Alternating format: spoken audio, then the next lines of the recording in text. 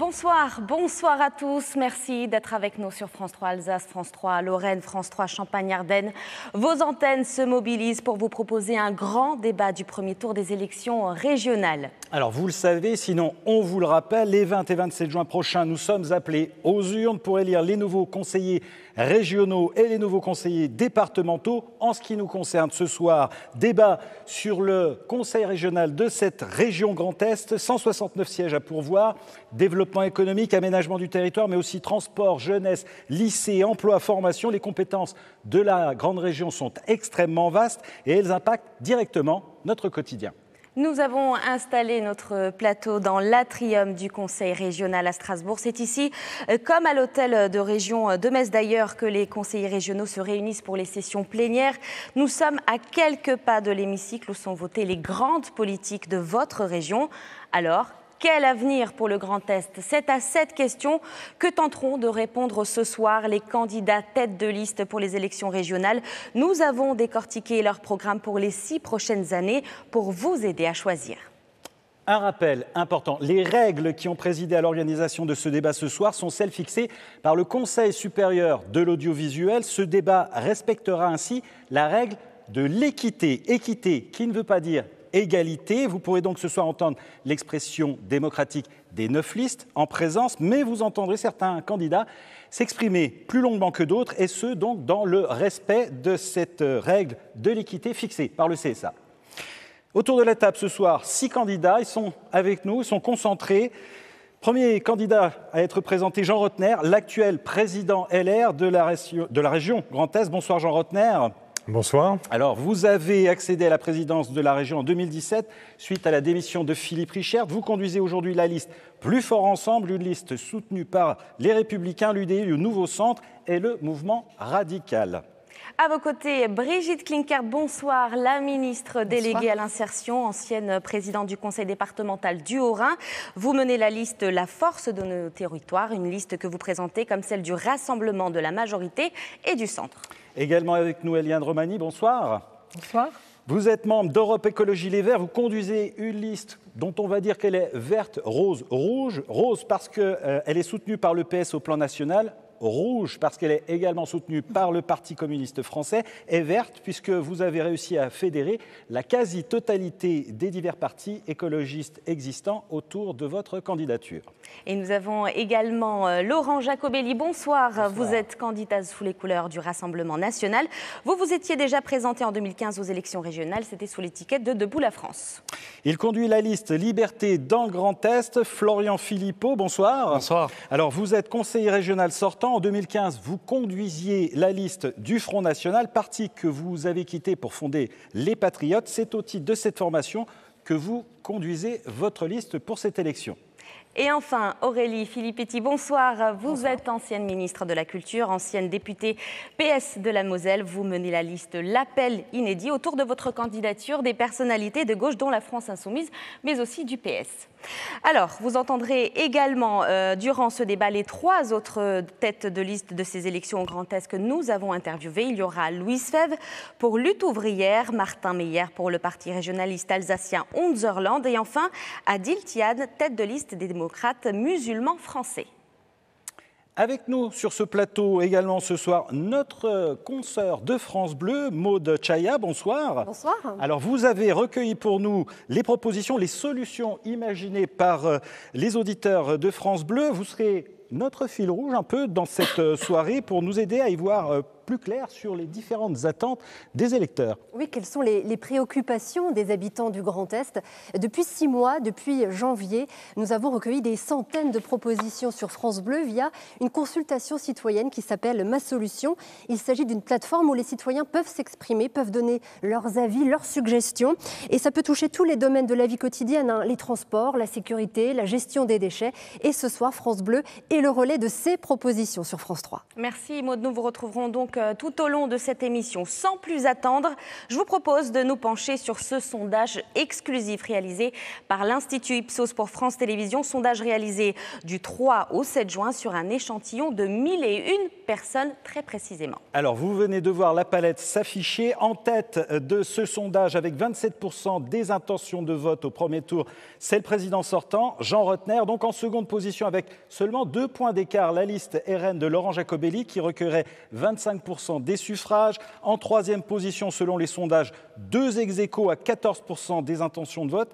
D'abord, la liste de rassemblement de la majorité et du centre, donc emmenée par la ministre Brigitte Klinkert.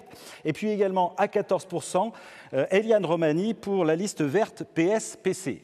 Et toujours selon ce sondage, Florian Philippot arriverait cinquième avec 8% des intentions de vote. Aurélie Filippetti atteindrait les 5%. La liste du parti régionaliste alsacien Onzerland, 4%. Louise Fèvre, sous les couleurs de lutte ouvrière, est à 2%. Et Adil Tian, avec le parti des démocrates musulmans français, ferme la marche avec 1% des intentions de vote. Voilà, alors à l'issue de ce premier tour, quatre listes seraient qualifiées pour le second tour. C'est donc une quadrangulaire qui se profilerait. Ipsos n'a testé pour l'instant que cette hypothèse en estimant que l'ensemble des candidats se maintiendrait. Vous voyez euh, les résultats qui s'affichent et si quadrangulaire il y a donc au deuxième tour, eh bien c'est le RN qui l'emporterait au second tour donc avec 32% des voix devant la liste de Jean Rotner qui avec 29% des suffrages serait donc battu. Eliane Romani ferait 20%, elle arriverait en troisième position juste devant Brigitte Klinkert à 19%, Florian Philippot et puis euh, Aurélie Filippetti donc, ne seraient pas qualifiés pour le second tour. Jean Rotner, première question qui euh, vous intéresse. Dans l'hypothèse d'une quadrangulaire, vous êtes battu au second tour. Je vais vous poser une question très simple. Comment vous jugez en fait ce que l'on vient de voir au niveau des sondages? Qu'est-ce que ça vous inspire tout simplement? Écoutez, bonsoir déjà et bienvenue dans cette maison commune de, la région. Ça me fait vraiment plaisir de, vous accueillir ce soir et d'accueillir euh, tous euh, euh, les contradicteurs aussi de, qui, me, feront face. ce sondage est déjà favorable au premier tour, au président sortant que je suis, et il vient corroborer les sondages qui ont pu avoir lieu ces, derniers jours, donc plutôt favorablement, avec des variations aussi d'autres concurrents qui se font plutôt à la baisse. On sait que le contexte est difficile. On le savait euh, depuis longtemps, le contexte national est compliqué. Il est favorable aujourd'hui euh, au Rassemblement national. Je connais, moi, le travail de terrain que je fais tous les jours. Je connais le travail de terrain de mon équipe euh, au quotidien. Et les projections sur le deuxième tour sont assez incertaines aujourd'hui, avec des marges d'erreur encore très larges. Donc, soyons prudents, continuons à travailler. Il reste encore une dizaine de jours de campagne. Donc, moi, je suis relativement serein à l'heure qu'il est marge d'erreur, effectivement, 2,5% en plus ou en moins. Ça veut dire qu'il bah, reste effectivement encore une semaine et demie, tout peut bouger. Laurent Jacobelli, vous êtes en tête. Euh, au second tour, en tout cas, vous remporteriez la région. Euh, pareil, même question en fait. Qu'est-ce que vous pensez de ce sondage? Écoutez, un sondage qui vous donne gagnant, ça fait toujours plaisir, mais un sondage reste un sondage. Vous savez, la seule chose qui compte, c'est le 20 et le 27 juin, le vote des électrices et des électeurs des trois régions du Grand Est. Euh, mais ça donne un formidable message d'espoir, un espoir que l'alternance est possible, enfin, après des décennies du même système, hein, du centre-droit, centre-gauche, PS, qui ont appliqué la même politique au niveau national et au niveau régional, et dont on voit aujourd'hui que ce sont des solutions obsolètes face aux, progrès, aux problèmes que rencontre notre société, le problème de l'immigration, de la sécurité, le problème des territoires ruraux, trop souvent oubliés. Et donc, moi, j'appelle au vote utile. Le changement est possible, l'alternance est probable, et euh, réunissons-nous le 20 et le 27 juin pour gagner cette belle région.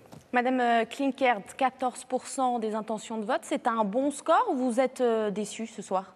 Vous savez, la, campagne dure encore dix jours. Euh, il y a le débat de ce soir qui va pouvoir faire bouger les lignes. Il va y avoir d'autres débats, beaucoup de campagnes sur le terrain aussi.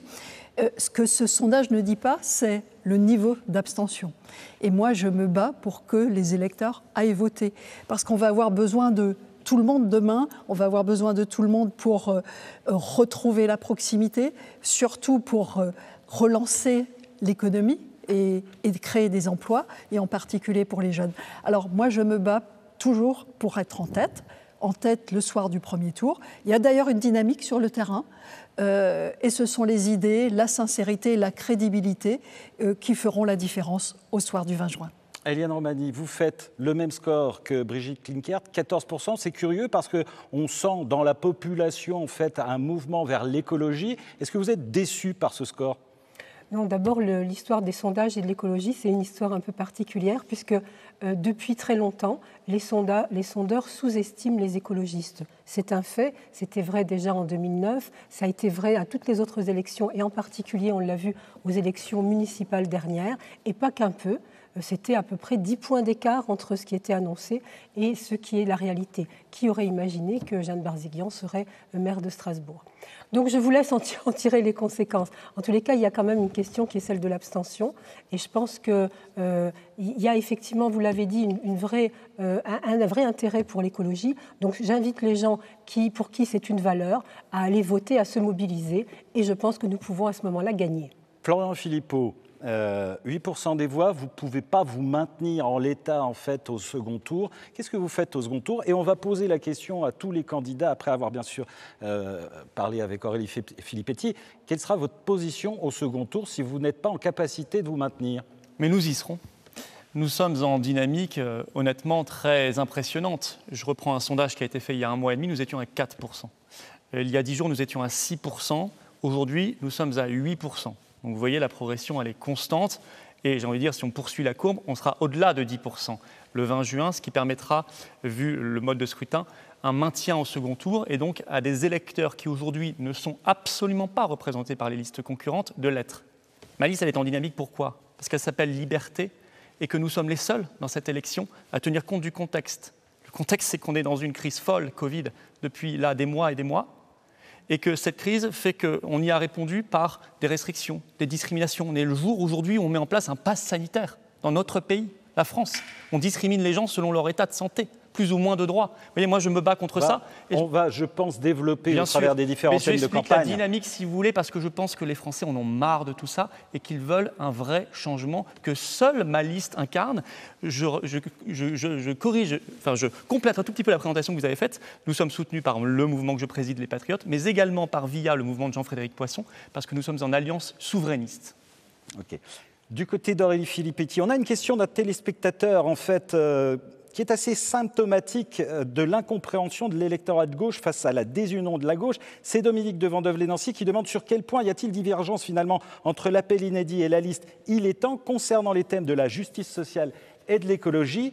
Ça nous ramène à une question. En fait, vous n'avez pas réussi à faire la fusion entre vos deux listes, la liste d'Eliane Romani et votre liste de l'appel inédit, en fait, euh, dans ce premier tour. Vous êtes à 5% aujourd'hui, vous n'êtes pas qualifié pour le second tour. Est-ce que finalement, vous n'avez pas commis une erreur? On ne commet jamais d'erreur quand on défend ses convictions. Et aujourd'hui, à Strasbourg, j'ai rencontré la doyenne de mes listes, euh, Jeanne, 85 ans, qui m'a dit quand on a des convictions, on les défend. C'est ce qu'on a fait avec cette liste d'appels inédits qui regroupe euh, des personnalités de gauche, qu'elles soient socialistes, qu'elles soient communistes, l'ancien euh, candidat d'ailleurs du Parti communiste à la dernière élection régionale, les insoumis, le Parti radical de gauche, Place publique avec Raphaël euh, Glucksmann, euh, Joe Spiegel. On a aussi le soutien des jeunes générations, euh, Allons enfants. On le soutien de la gauche démocratique et citoyenne. Et on a surtout beaucoup de gens qui en ont assez de la dictature des partis et de la situation catastrophique dans laquelle nous jette aujourd'hui, et en particulier à gauche, le fait de faire prévaloir toujours les intérêts des partis sur les intérêts des Françaises et des Français. Et c'est pour ça qu'on a créé l'appel inédit avec Pernel Richardot, membre du Parti socialiste, et Caroline Fiat, députée et aide-soignante. Est-ce que ça veut dire qu'une fusion des deux listes euh, écologistes et euh, de la vôtre, l'appel inédit, est impossible entre les deux tours?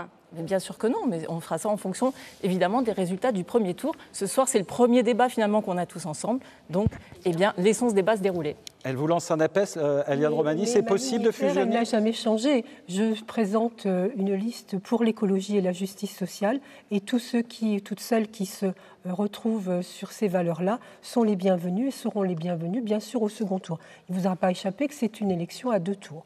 Et donc la, porte reste ouverte pour le second bien, possibilité de mariage à gauche au deuxième tour, on entend bien. Brigitte Klinkert, Il y a eu, durant cette campagne, en fait, euh, allez, un mini psychodrame du côté de euh, votre liste qui représente euh, donc la majorité, avec la liste de Jean Rotner. Jean Rotner a dit qu'il ne fusionnerait pas au second tour, ça risque peut-être de faire remporter le Front National. Qu'est-ce que vous pensez de cette position de Jean Rotner Le Rassemblement National, merci. J'étais sûr que je mettre le logiciel à jour. J'étais sûr que je ferais l'erreur. Brigitte Linker. Déjà, je voudrais rappeler. Est-ce que vous vous maintenez finalement Je voudrais rappeler que les sondages ne sont pas une élection. Euh, je voudrais vous dire aussi que moi qui suis tous les jours sur le terrain, ce n'est pas la question qu'on nous pose.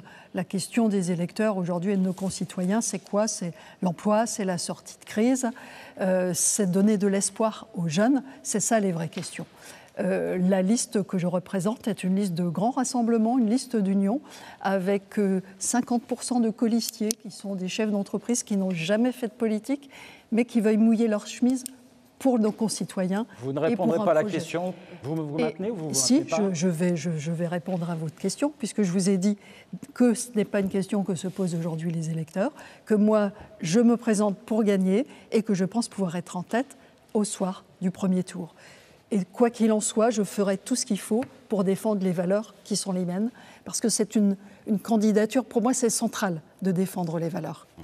Jean Rotner, on a une question euh, d'un téléspectateur de France 3 encore qui habite dans l'Aube, euh, qui nous dit, je crois qu'il s'appelle Alexandre, pouvez-vous promettre aux électeurs de droit que vous ne vous allierez pas avec les centristes et avec Brigitte Klinker au deuxième tour de l'élection régionale? Apparemment, certains dans votre électorat ne veulent absolument pas se marier avec le parti, avec la liste qui, en tout cas, représente la majorité. Vous savez, je n'ai pas de contradiction à gérer.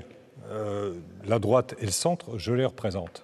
Vous avez cité les euh, mouvements du centre qui euh, étaient unis effectivement aux républicains que je représente. C'est clair, c'est net et c'est précis. Au risque de faire gagner le Rassemblement national? Laissez-moi finir, s'il vous plaît. Je suis aujourd'hui en tête au premier tour. Je n'ai jamais eu aucune ambiguïté sur mes choix politiques et les décisions que je devais prendre.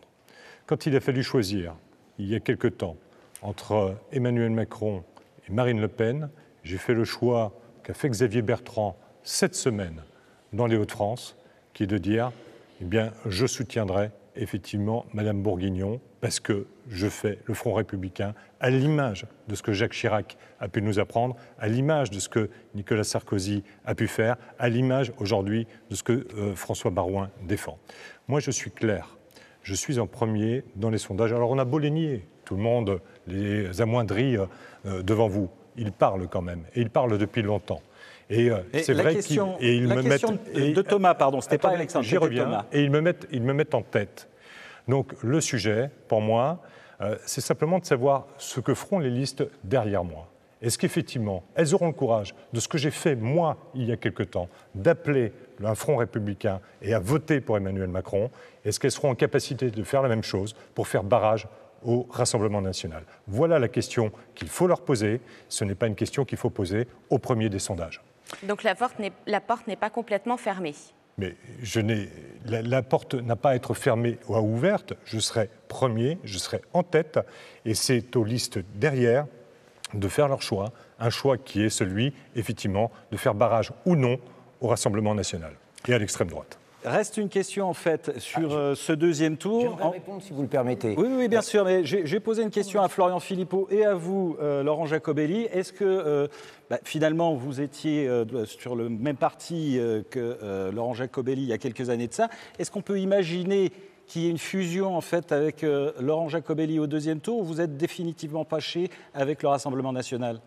Ah bah, Si vous voulez, moi je suis souverainiste.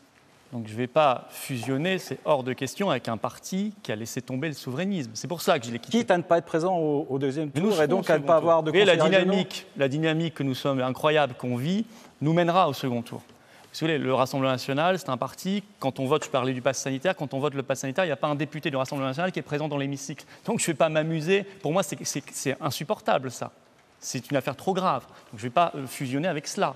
Je suis pour le Frexit, je suis pour quitter On va en parler si vous le voulez bien. Bien sûr, J'ai- mais pas le, plus le Rassemblement national. Donc je- moi, je suis souverainiste. Je ne peux pas fusionner avec des gens qui se sont ralliés au système européiste et de Schengen et de la CEDH. Donc vous avez votre réponse. Non, je ne fusionnerai pas, mais je serai au second tour pour, avoir, pour qu'il y ait un vrai choix pour les électeurs. Sinon, il n'y aura pas de vrai choix. Vous avez votre singularité. Allez, on vous laisse sur cette question des sondages, des hypothèses de second tour. Terminez rapidement, Laurent Jacobelli. Ah oui, rapidement, mais ça vaut le coup quand même d'analyser un petit peu ce qui vient de se passer ce soir. Alors, monsieur. une analyse courte. Alors, une analyse courte, mais M. Rotner a été très clair avec son appel au Front républicain. Vous savez, le Front républicain, c'est ce que euh, les hommes politiques qui sont euh, désespérés pour garder leur poste et euh, faire des alliances improbables sortent comme joker, parce que très honnêtement, le Rassemblement national est un parti républicain. Le maire d'Ayange a été réélu à 63%, Fabien Angelman. Le maire de Dolincourt, qui est sur ma liste, Frédéric Fabre, 77%. Ils ont été élus par des gens de toute sensibilité, simplement parce qu'ils font bien le boulot et tout à fait de manière républicaine. Mais ce soir, on a la deuxième trahison de M. Rotner, le, euh, Alors, le, le muselier On a bien compris. On Non, va, je, je- je vais au bout. On Tout va laisser répondre. On va laisser répondre Jean Rotner et puis après on terminera sur cet aspect des terminé ma choses. phrase, si vous me le permettez. Rapide. Juste, juste.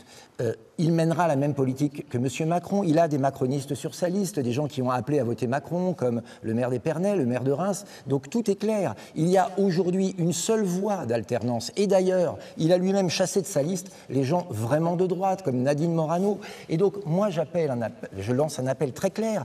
Tous les gaullistes, euh, tous euh, les gens vraiment euh, de droite, tous ceux qui veulent changer les choses, eh bien, qu'ils me rejoignent. Et puis, il veut faire barrage au, Front- au Rassemblement national. On va lui laisser la parole, si vous le voulez bien. On a bien compris. Merci. Qu'il fasse d'abord barrage à l'insécurité, barrage à l'immigration. On va y venir, on va y venir, on va y venir. Jean. Rotner, c'est quand même amusant que. M. Giacomelli vienne faire nous, nous faire la leçon ici sur ce plateau en citant les deux seuls maires du Grand Est qui sont de sa formation professionnelle, de sa formation euh, euh, politique. Ah, vous ne C'est pas compter, il y en a c'est- 15. C'est quand même assez, assez, euh, assez symptomatique. C'est vrai que vous n'êtes jamais allé Mais les Non, mais c'est vrai que vous les, vous les citez de, de manière, assez, allé de manière assez régulière. Écoutez, Jean Monsieur- monsieur- non, non, je, je vais finir. Monsieur Giacomelli, qui arrive aujourd'hui projeté par le Politburo du Rassemblement national depuis Paris, alors qu'il était, vous l'avez rappelé, en 2015, Ah. euh, candidat euh, dans les Vosges. Ensuite, il est parti dans l'Essonne. Ensuite, dans les Bouches-du-Rhône. Il s'est présenté au municipal. Il s'est présenté euh, au sénatorial. Là, il revient Ah, pour les, pour Mais pour régionales. Donc, Monsieur Giacomelli, on n'a pas de leçon. n'ai jamais été On n'a candidat pas- au on n'a- On sénatorial. n'a pas de leçon à recevoir de vous. Et je n'ai aucune leçon Nous, à recevoir de nous vous non connaissons parfaitement, et je connais parfaitement mon terrain et ma région. Essayez de faire de même. Ce n'est pas simplement en promenant un bus, mais en rentrant dans le bus et en rencontrant les gens que vous ferez là aussi une véritable campagne de proximité. Alors on va passer, vous- on va passer du registre des sondages au registre. Il n'a pas nié, donc au la fusion registre. et la trahison arrivent après avoir trahi les Alsaciens, comme en 2014 où il leur avait promis que jamais il ne les fusionnerait dans le Grand Est. Aujourd'hui, il trahira les électeurs de droite. Je pense que c'est clair. On va passer donc à un autre sujet qui est particulièrement clivant. Alexandra. On va revenir hein, à ce sondage dans quelques instants, mais euh, pour découvrir euh, quelles sont les principales euh, préoccupations des électeurs, quels sont les thèmes qui vont motiver leur choix. Mais pour l'heure, une question qui n'a pas été posée dans ce sondage et qui agite cette campagne, qui est extrêmement clivante entre les candidats. Oui, c'est celle qui concerne l'existence même de la région Grand Est. Certains souhaitent un retour aux anciennes régions, le retour de l'Alsace, de la Lorraine et de la Champagne-Ardenne. Faut-il démanteler le Grand Est? Adapter son organisation C'est la question sur laquelle on va se pencher avec nos candidats. Avant cela, je vais me tourner vers notre fil rouge de la soirée, Maud Chaya, notre concert de France Bleu. Maud, les auditeurs de France Bleu ont eux aussi un avis sur l'existence et sur le fonctionnement de cette région Grand Est. Oui, en effet, trop grande, trop chère, trop hétérogène. Six ans après sa création, le moins que l'on puisse dire, c'est que cette grande région fait toujours débat. D'après ma solution, la consultation citoyenne de France Bleu, ce qui revient souvent, c'est le coût. Il faut cesser de gaspiller l'argent public. C'est ce que nous dit Nicolas. Il a 34 ans, il habite en Moselle. Ce rejet du Grand Est reste très fort en Alsace, malgré la création de la collectivité européenne d'Alsace. Cette fusion des conseils départementaux alsaciens, c'était le 1er janvier dernier. Il faut une égalité de traitement, d'accord, une CEA en Alsace, mais à ce moment-là, il faut faire ça dans tous les autres départements. C'est en tout cas l'avis de Louise. Elle a 45 ans et elle réside en Lorraine. Voilà, on vient de l'entendre. En six ans d'existence, le Grand Est ne s'est pas franchement imposé euh, dans le paysage ni dans le cœur de ses 5 millions et demi d'habitants. Jean Rotner, je me tourne vers vous. Vous étiez opposé à cette grande collectivité avant sa création. Aujourd'hui, vous en êtes le président. Vous êtes candidat à votre succession. Qu'est-ce qui a changé en six ans? Écoutez, je pense qu'autour de cette table, il n'y a pas beaucoup de monde qui était euh, favorable à la création de ces grandes entités euh, sous euh, l'égide et la responsabilité du président Hollande à l'époque. et c'est vrai que, et moi je, je, le dis souvent, j'étais un des fervents défenseurs d'autres périmètres, sauf que dans ce pays, nous sommes républicains. Nous sommes républicains et le Parlement a adopté une loi et derrière, les euh, nouvelles régions ont été redessinées à la fois dans leur territoire et dans leurs compétences. Et euh, j'ai décidé de me lancer dans cette aventure pour défendre mon territoire, le Rhin, pour euh, y participer et pour être là aussi en cohérence avec ce qu'il était important de défendre. L'économie, l'emploi, la culture, la préservation de la planète, les transports tous ces sujets qui sont des sujets du quotidien et qui, comme élu local, me sont extrêmement chers. Vous y êtes fait finalement à cette grande région je l'ai parcouru, je l'ai parcouru, je la parcours toujours. Je suis euh, extrêmement en proximité, je crois, avec, euh, avec euh, tous les territoires. pour autant, la crise a été un révélateur aussi de ce qu'elle pouvait apporter de positif. Au-delà des critiques de M. Philippot que j'entends et que je conteste, on pourra y revenir, la crise a été, je redis, un accélérateur d'un point de vue économique. Eh bien, euh, les euh, forces économiques, les artisans, les entreprises, les forces vives de ce territoire eh bien, ont réussi encore plus à se fédérer et à trouver des solutions innovantes. nous, avons trouvé, nous avons quand même traversé des périodes extrêmement compliquées, extrêmement difficiles. Alors, il ne faut pas se tromper de, il faut pas se tromper d'élection non plus. Certains ici, autour de cette table, vont dire eh bien, euh, on va tout révolutionner, on va changer les périmètres, c'est euh, notre lutte. Non, on est là dans une élection qui renouvelle aujourd'hui les exécutifs des régions. Et il est hors de question, et je crois que le chef de cabinet du président de la République l'a encore exprimé cette semaine, de revenir sur ce périmètre. Donc essayons de faire au mieux, et il n'y a pas que des dépenses supplémentaires, bien au contraire, aujourd'hui, avec la crise, avec les exigences, avec notre responsabilité, nous avons réussi à faire beaucoup mieux et de véritables économies d'échelle. On a une question d'Alexandre de Benfed. Le voilà, Alexandre. C'est dans le euh, Rhin, c'est dans le Bas-Rhin, euh, Benfed. Ah et puis maintenant, c'est dans la collectivité européenne d'Alsace, bien évidemment. Il faut aussi effectivement upgrader son logiciel. Euh, Laurent Jacobelli, euh, Alexandre vous demande si vous êtes élu, est-ce que vous allez amorcer le démantèlement de la région Grand Est ou bien est-ce que c'est une forme de clientélisme pour gagner des voix, sachant qu'effectivement, Jean Rotner vient de le rappeler, institutionnellement, bah, vous ne pourrez pas démanteler la région Grand Est. Comment vous faites? Alors je vais vous expliquer, mais d'abord, je crois que c'est très important de le faire. Le Grand Est, c'est 51% euh, de frais de transport et d'hébergement en plus, 25% d'augmentation salariale. C'est une Cour des comptes qui épingle des frais administratifs administratifs qui s'envolent. C'est l'IFRAP, un institut indépendant, qui euh, place la région dixième sur 13 en maîtrise de coûts après cette fusion. Et puis ce sont des services en moins alors que c'est de l'argent en plus. Euh, on continue euh, la désertification de certains territoires. Il y a encore des lignes de, métro, de train qui ferment. ça continue. On, a bien compris que vous étiez contempteur, en fait. non, mais, comment du coup, il faut changer. donc, il y a, donc il y a plusieurs solutions. La première, et Marine Le Pen l'a dit hier très clairement en visite en Meurthe-et-Moselle. Elle rendra l'Alsace aux Alsaciens, euh, la Champagne-Ardenne aux Champardonnais et la Lorraine aux Lorrains. Donc rendez-vous à l'élection présidentielle, c'est ce que vous êtes en train de Mais entre-temps, on peut faire plein de choses. D'abord, un référendum consultatif pour avoir l'appui de la population et puis demander une réforme législative. Et je vais vous dire, si ça ne se fait pas, ce ne sera pas une raison pour ne pas respecter la parole. Moi, je respecterai mes engagements. Vous voyez, c'est possible en politique. Mais comment, eh bien, je nommerai trois vice-présidents, chacun en charge d'une région, avec un budget dédié. Mais je vais vous lire, moi, une phrase magnifique sur le Grand Est qui résume tout. Une région allant de la région parisienne au Rhin, c'est inconséquent, incohérent et inefficace. Ce n'est pas la surface qui fait la force. Quelles sont les stratégies communes entre l'Alsace et la Champagne-Ardenne Alors là, ça va être très très long. C'était Jean Rotner en 2014. Vous voyez, l'homme a changé, mais depuis... Jean Rotner s'est justifié tout à l'heure. On ne va pas lui redonner euh, la parole sur le sujet. Madame Klinkert, euh, vous, avez entendu, hein, euh, vous avez un peu les mêmes idées, hein, ces fameux trois présidents dédiés aux anciennes régions. vous, vous promettez un choc de décentralisation. Qu'est-ce que ça veut dire un choc de décentralisation concrètement Alors déjà, si je me présente, c'est d'une part pour sortir de la crise, pour doubler le plan de relance de la région, euh, parce qu'il faut maintenir les emplois, il faut créer de nouveaux emplois, et c'est pour défendre la proximité. Quand je dis défendre la proximité, c'est quoi? Lorsque je parcours la région, je rencontre des maires, je rencontre des chefs d'entreprise qui n'ont quasiment jamais eu de contact avec la région, qui ne connaissent pas les subventions qu'ils peuvent obtenir et qui disent que cette région est beaucoup trop grande. Alors, moi, ce que je veux faire, c'est de redonner la parole aux citoyens sur toutes les questions importantes qui se posent pour notre avenir. Et je dis aussi, n'ayons pas peur du référendum y compris sur l'organisation de notre région.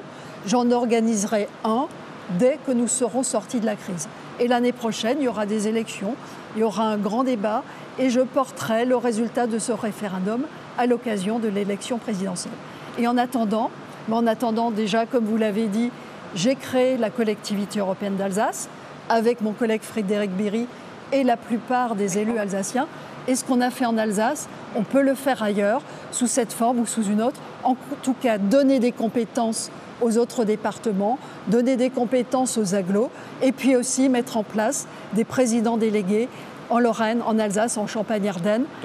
Une région Grand de la proximité. Une région Grand Est décentralisée, entre guillemets. C'est votre idée Alors, une région Grand Est qui soit plus proche en attendant ce référendum et là, on verra ce que décident nos concitoyens. Eliane Romani, vous parlez aussi d'une région de proximité. Euh, pareil, qu'est-ce que ça veut dire euh, pour vous?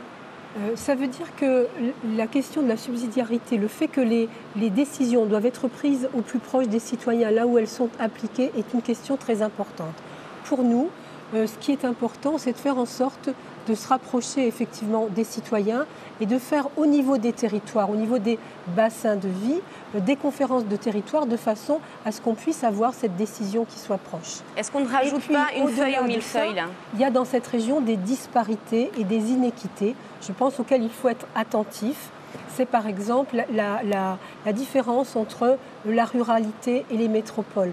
Je pense qu'on a une différence de traitement, une différence de service et quand euh, dans, la ruralité euh, s'en vont euh, les services publics, quand on n'a pas de ligne de chemin de fer, quand on est loin des, voilà, et effectivement ça pose problème et ça donne un, sentiment d'abandon qui, je crois, nourrit aussi le populisme.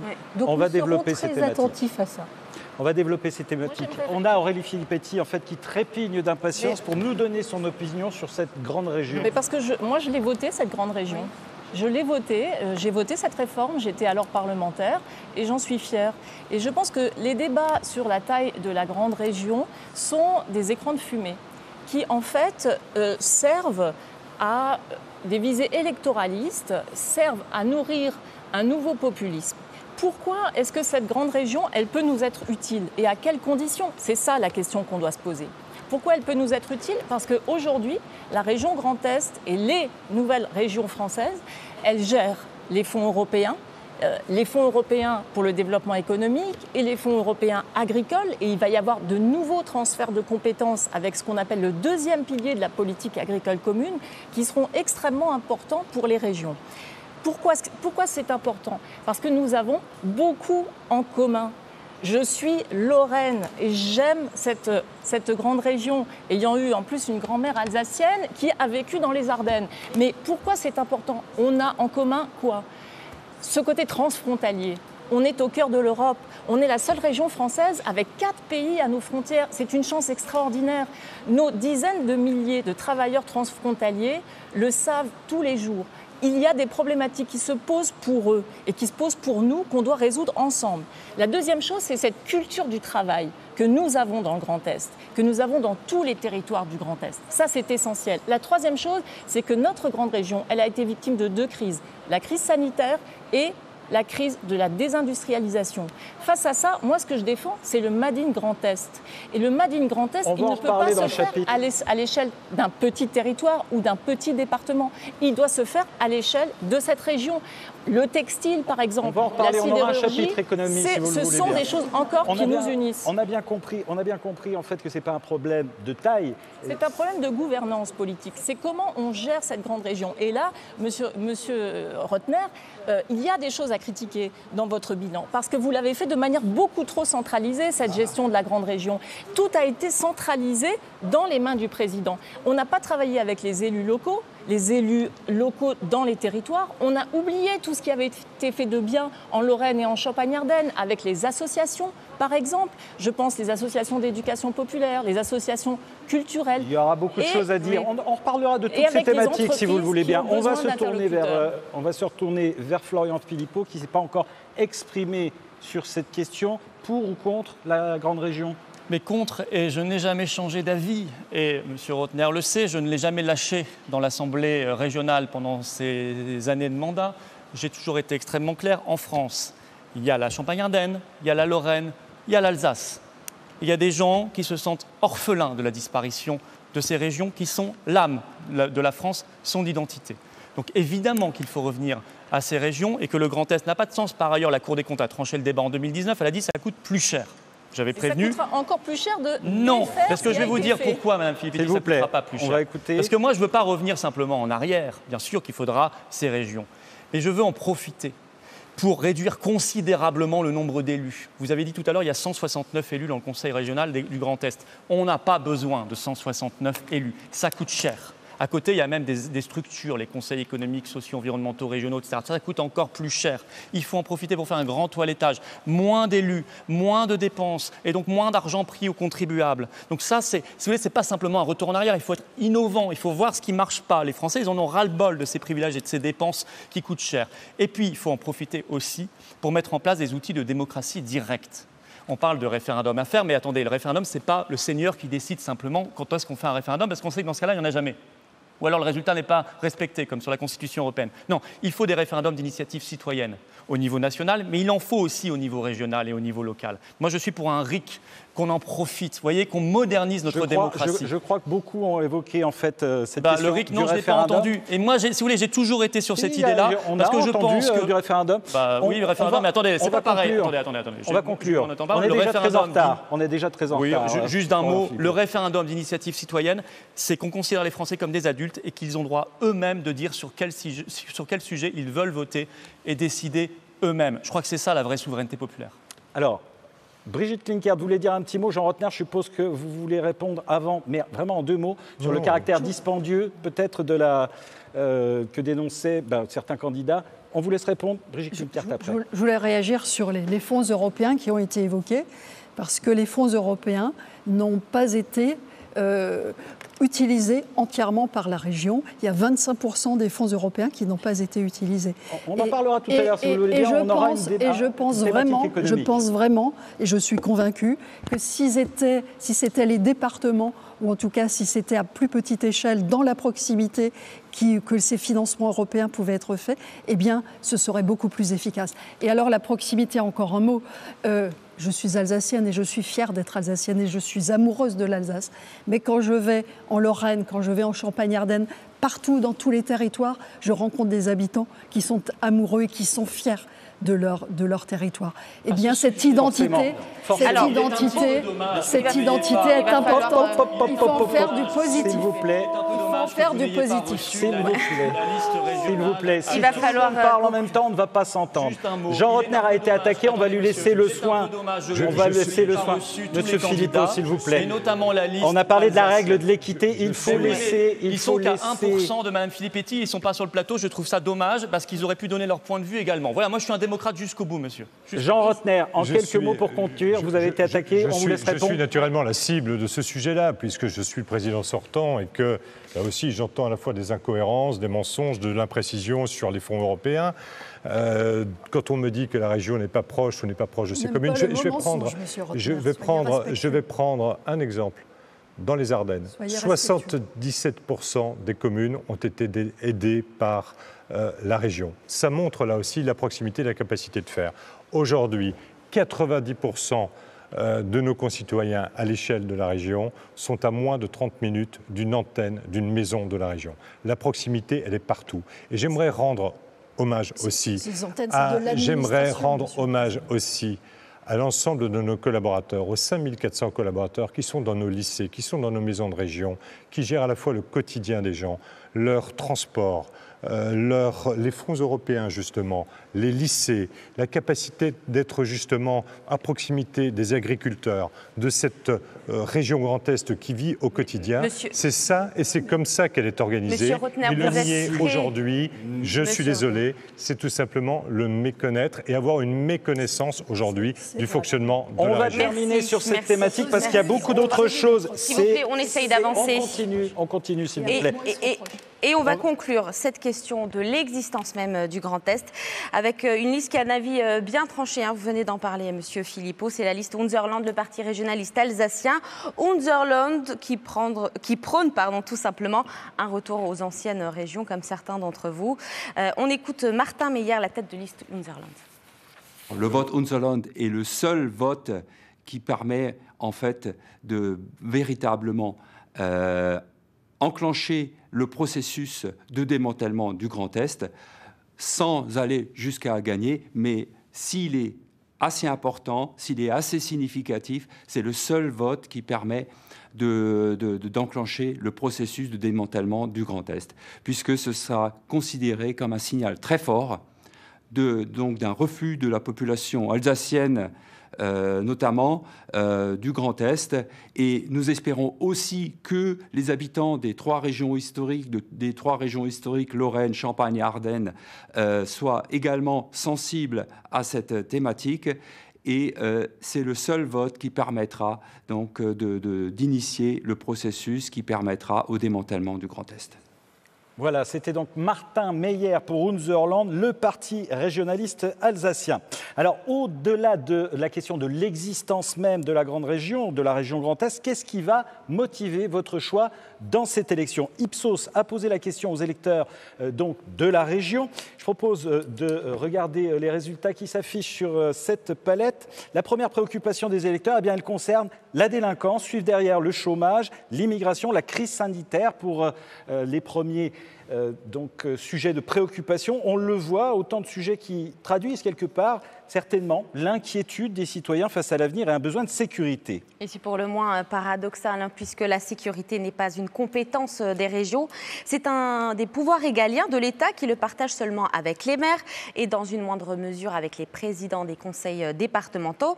Pourtant, on le voit bien, face à la délinquance, au chômage, à la crise sanitaire, la sécurité est au cœur des préoccupations. Maud, est-ce que les auditeurs de France Bleu ont des propositions pour le Grand Est en termes de sécurité La sécurité revient effectivement très largement dans les propositions envoyées par les auditeurs de France Bleu via la plateforme, la consultation citoyenne Ma Solution. Il faut plus de gendarmes, il faut plus de policiers, il faut aider les communes à s'équiper en caméras de vidéosurveillance, nous dit Lucien, 67 ans, il habite dans la Marne. Des caméras dans les villages, dans les rues, mais aussi dans les écoles. C'est ce que propose Annie, qui habite en Alsace, dans le Bas-Rhin, sachant qu'on le rappelle, les lycées sont gérés par la région. Alors la sécurité, bien évidemment, s'il y a un parti qui se réjouit que ce soit la préoccupation principale, bien qu'encore une fois ce ne soit pas une compétence de la région, la préoccupation principale des habitants du Grand Est, c'est vous, euh, Laurent Jacobelli. Le Rassemblement national, euh, donc euh, la liste que vous menez, prône un pacte sécuritaire pour la grande région. Alors qu'est-ce que ça signifie? Le pacte régional de sécurité, c'est répondre à l'attente de nos concitoyens de vivre en paix de vivre le matin sans la boule au ventre, euh, de prendre les transports ou d'aller euh, au travail. Vous savez, aujourd'hui, l'insécurité en France, bien sûr, mais aussi dans nos trois régions, a atteint un niveau inégalé depuis des décennies, même en milieu rural, même dans des zones autrefois épargnées. Et soit la région reste, comme aujourd'hui, spectatrice, en disant euh, c'est pas ma compétence et je laisse faire, soit elle prend le problème à bras le corps pour faire rempart à la politique de M. Macron, dont c'est le principal échec. Ce pacte de 150 millions, c'est quoi?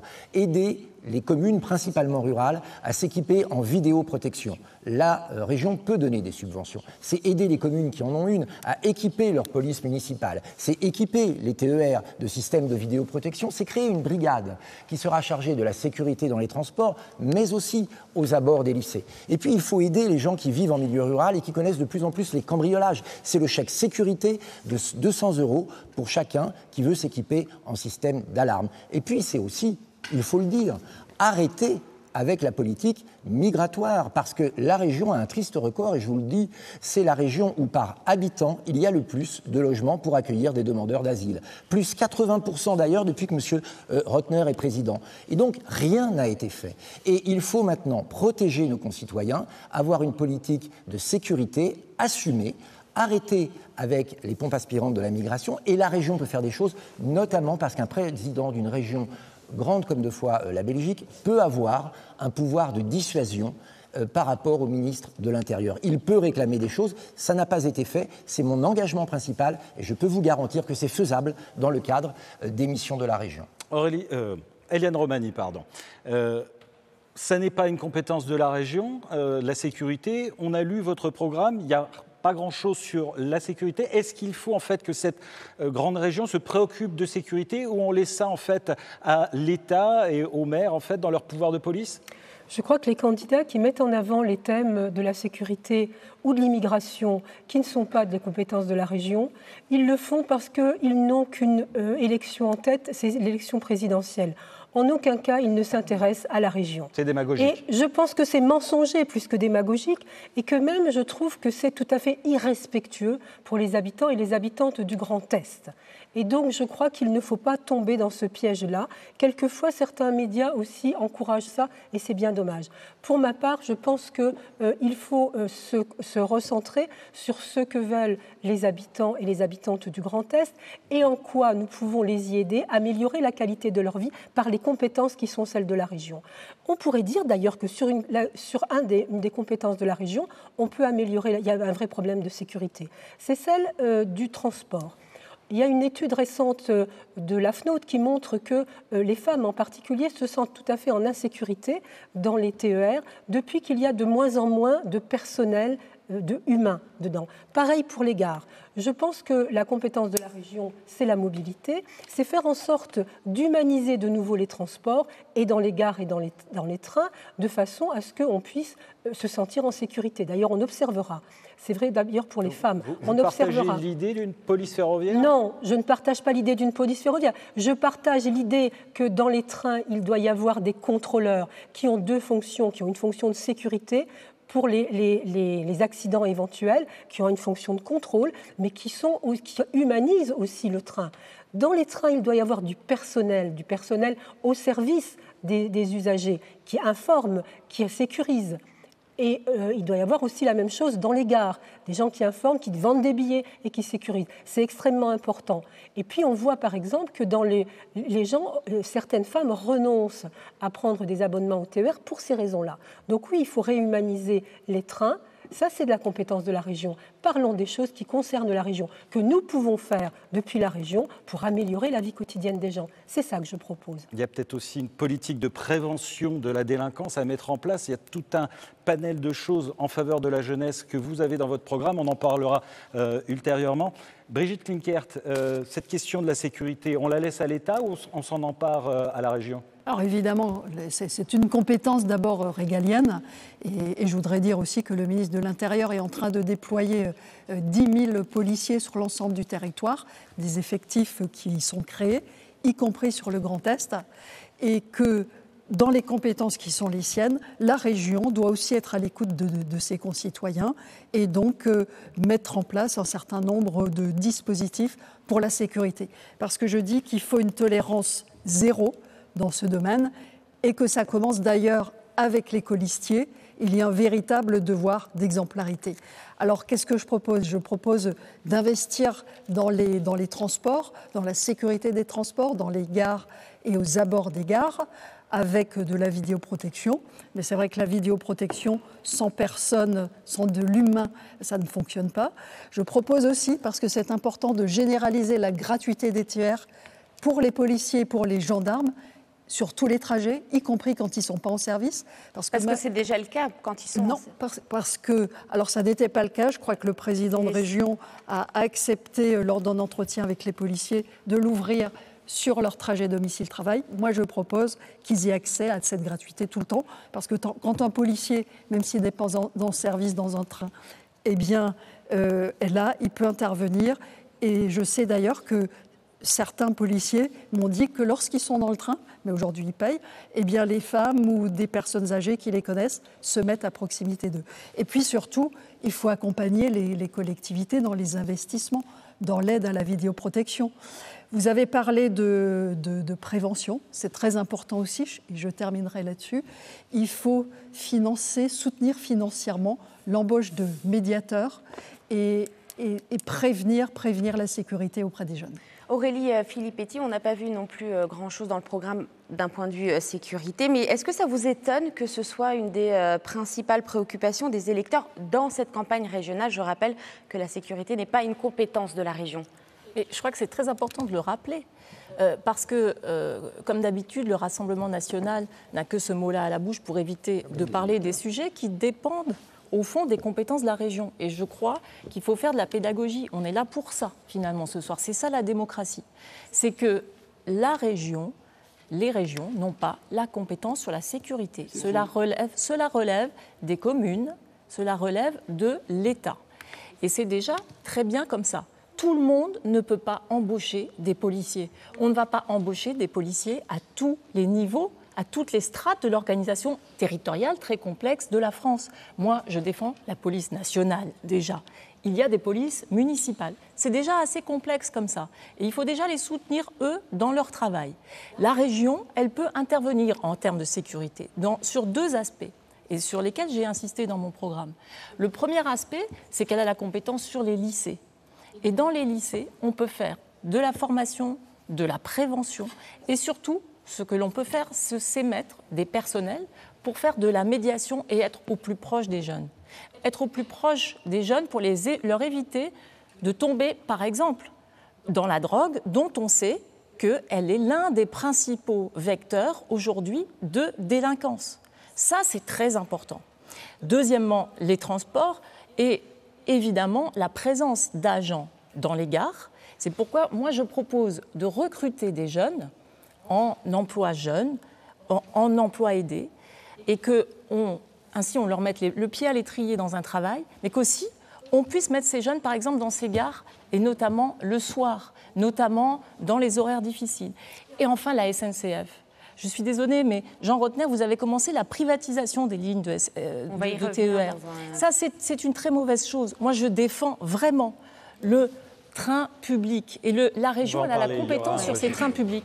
Mais ce qui est important, c'est que dans ces trains, il faut aussi des contrôleurs, pas seulement dans les gares. Et ça, c'est la première, la présence physique, c'est la première source de sécurité. On va laisser Alexandra poser une question à Florian Philippot et puis après on ira euh, vers Jean Rotner pour conclure sur cette euh, problématique de la sécurité. Oui, Florian Philippot, vous avez également un volet euh, sécurité dans votre programme. Vous souhaitez promouvoir le Frexit, c'est-à-dire le Brexit à la française depuis l'Assemblée régionale. À quoi ça sert en termes de sécurité le Frexit et comment faites-vous puisque c'est l'État qui gère les traités internationaux? Alors, sur la sécurité, c'est très clair.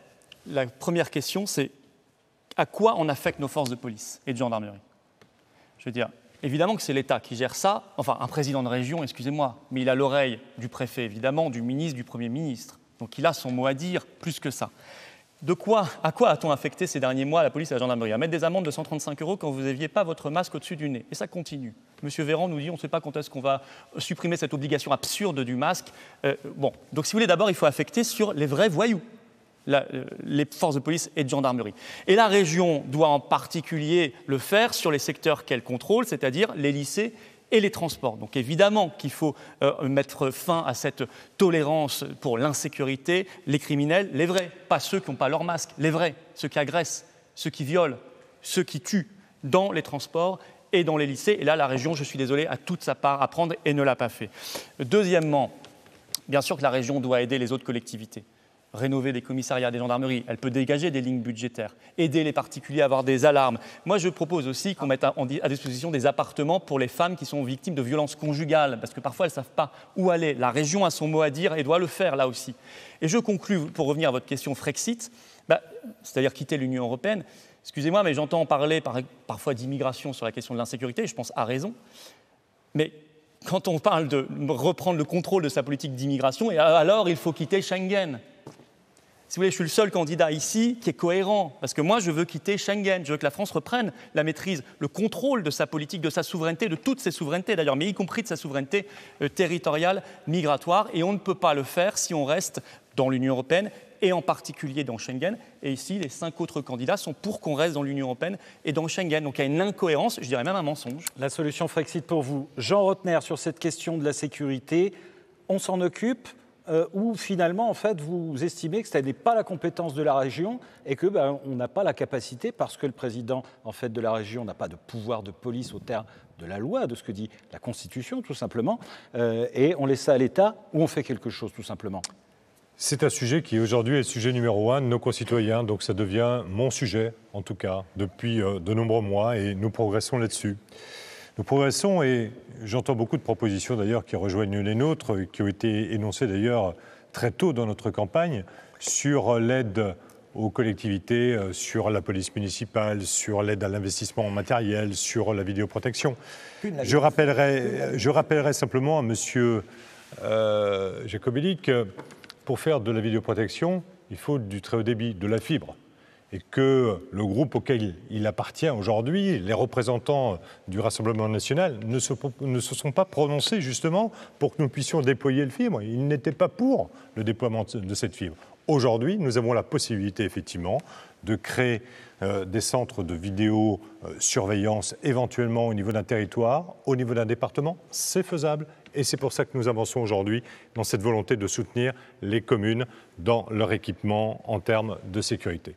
Les collèges, c'est déjà engagé là aussi avec un plan d'équipement qui est en montée de charge. J'irai même plus loin. Nous avons une responsabilité, ça a été dit aussi par d'autres intervenants ce soir, en matière de prévention. C'est bien la prévention. Mais à un moment donné, on sait aussi que euh, pour certains jeunes, aller en prison, c'est la médaille. C'est une sorte de fierté. moi, je crois qu'il faut intervenir de manière différente. Le président de la République a convoqué visiblement euh, des assises de la justice. Moi, je demande à pouvoir y assister comme président de la région. Je demande à être présent. Et je suis même OK pour que nous puissions, dans chaque département, augmenter les centres d'éducation fermés pour les jeunes qui ne doivent pas aller en prison, mais qui doivent réapprendre peut-être un certain nombre de chaînages évidents dans la vie. Je vais même plus loin. Aujourd'hui, nous aidons déjà, d'ailleurs, les services civiques militaires. Par exemple, à Montigny, à Chalon, nous encadrons et nous aidons financièrement la formation de 850 jeunes qui, à travers l'autorité euh, militaire, eh bien, sont réintroduits dans la vie civile. Je trouve ça extrêmement intéressant et je suis prêt à tripler les efforts de la région sur ces deux exemples. Je pense qu'il faut aller plus loin. Je pense effectivement qu'aujourd'hui, on doit montrer clairement des signes d'autorité républicaine. Il faut que nous gagnions, il faut que nous soyons présents sur tous ces sujets et que nous arrivions aussi à faire, et c'est un sujet important pour moi, et je pense que, M. Jacobelli, vous comprendrez également mon allusion, quelles que soient les communes, quelles que soient les communes, les féminicides, les violences faites aux femmes ne doivent pas exister, ne doivent plus exister. Et je souhaite faire de cela une grande cause régionale dans laquelle, effectivement, nous serons à côté des femmes victimes de violences intrafamiliales. Il faut qu'on poursuive ce débat parce qu'on a beaucoup de choses à faire. Je, dois Il y a d'autres sujets.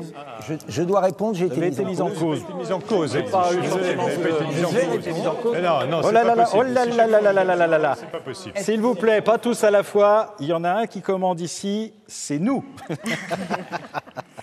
Allez, on poursuit. on va poursuivre. On va poursuivre sur la question. Une autre question. Merci pour vos réponses sur la sécurité. On a bien compris, je crois, de toute façon, les messages de chacun.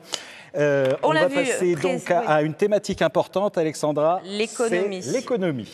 On l'a vu euh, précédemment dans le sondage. Parmi les principales préoccupations des électeurs, celle du chômage arrive en deuxième position.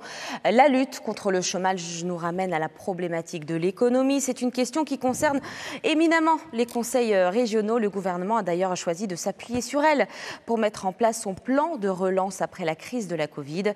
Le budget actuel affecté à l'attractivité économique est de 346 millions d'euros, sans compter euh, les aides européennes que la région va également mettre en œuvre. La région Grand Est a donc un rôle primordial dans la relance économique du territoire. Mode concernant euh, l'économie, les solutions proposées par les auditeurs sont variées, hétérogènes pour ne pas dire hétéroclites. Oui, les habitants du Grand Est ont, des idées hein, pour dépenser cet argent. Par exemple, euh, pourquoi pas créer un pôle emploi à l'échelle régionale? C'est ce que propose Aziz, un barinois de 37 ans. Des idées aussi parfois très précises pour changer nos modes de vie. Et là, c'est la question du consommer local qui revient très fréquemment. Il faut favoriser les produits locaux sur les marchés, notamment selon Annick, 70 ans. Dans la Marne, Catherine, 55 ans, suggère de mettre en place des réseaux de vente itinérantes pour les villages qui n'ont plus de commerce. D'autres citoyens vont plus loin sur France Bleu. Il faut repenser nos modes de consommation, mais aussi nos métiers. Alain est alsacien, il a 46 ans. Il pense qu'il faut revaloriser les anciens métiers, cordonniers, céramistes, vitriers, des métiers qui ont quasiment disparu aujourd'hui. Et pourquoi pas, ça permettrait de créer des emplois. L'idée en fait que cette crise économique et sanitaire puisse finalement être un nouveau départ vers une nouvelle société. Voilà, merci Maud. On le voit dans les propositions des électeurs, on le voit aussi dans le programme des candidats. Vous êtes nombreux à verdir la relance économique, à favoriser les circuits courts, à parler du consommé local. Ça revient dans pratiquement euh, tous les programmes. Eliane Romani, pour vous, euh, la relance de l'économie, elle sera verte ou elle ne sera pas? Vos propositions, en tout cas, sont extrêmement vertes vous voulez être la représentante de l'écologie dans cette élection. Non, je ne le veux pas, je le suis. Je suis la représentante de l'écologie et de la gauche. Je n'y peux rien. Je suis euh, militante écologiste depuis 20 ans. Je n'ai jamais changé de cette ligne-là. Et c'est à ce titre-là que je me présente ici. Ce que nous voulons, nous, pour l'économie, en tous les cas, ce que nous ne voulons pas, c'est euh, continuer à être les victimes de la mondialisation, euh, servir les intérêts des plus riches, des plus destructeurs, des plus cupides. Nous voulons que les l'économie crée de, vrais emplois et qu'elle ne continue pas à augmenter les profits euh, des milliardaires. Il y a des propositions très précises. Tout à fait, tout à fait. La, région euh, Grand Est, euh, je pense pour nous, doit cesser d'être suiveuse des stratégies des groupes transnationaux. Elle doit avoir sa propre stratégie. Et pour nous, l'économie, c'est la transition écologique c'est à la fois un défi qui est devant nous, mais c'est à la fois une formidable opportunité. On, estime à 100 000 emplois les emplois verts dans l'économie qu'on appelle verte, c'est-à-dire dans le développement de l'agriculture euh, biologique, qui est bien plus pourvoyeuse d'emplois que l'agriculture traditionnelle. C'est euh, l'économie du réemploi, du recyclage, qui est bien plus importante que euh, les deux personnes qui gardent les décharges. les emplois qui sont autour de la maîtrise de l'énergie, du développement des énergies renouvelables, des nouvelles mobilités.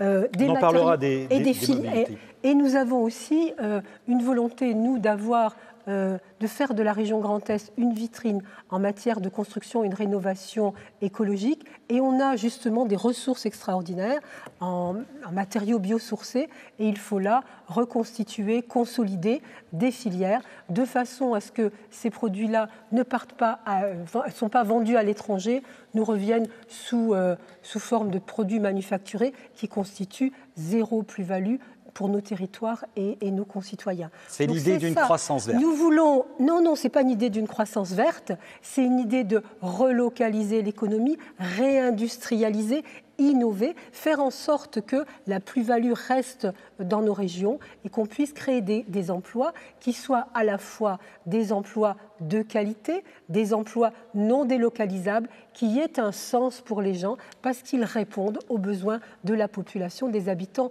du Grand Est. C'est ça que nous voulons. Alors, et pour ce faire, si vous permettez deux mots, pour ce faire, je n'ai pas beaucoup parlé, vous, vous observerez. Vous êtes en train de remonter. Pardon? Vous êtes en train de remonter.